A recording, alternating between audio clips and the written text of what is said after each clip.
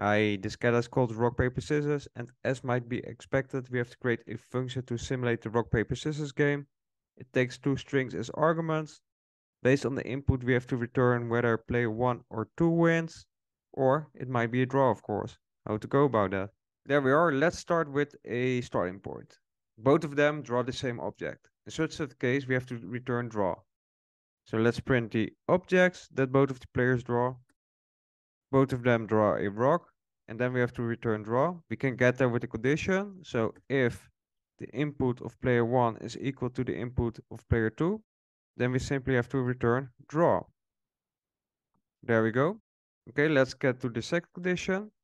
Player 1 draws a scissors and player 2 draws a paper. Then we have to return player 1 1. How to go about that? Well, as follows.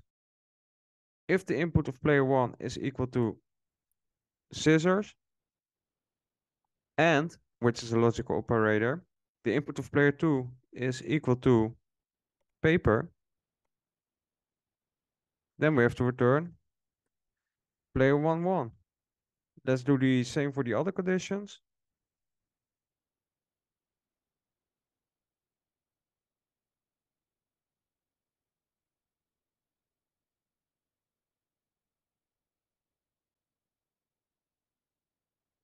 Okay, works as designed.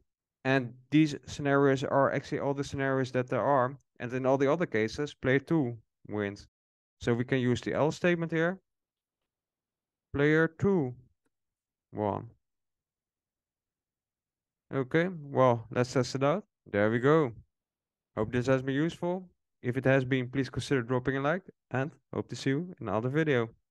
Ciao.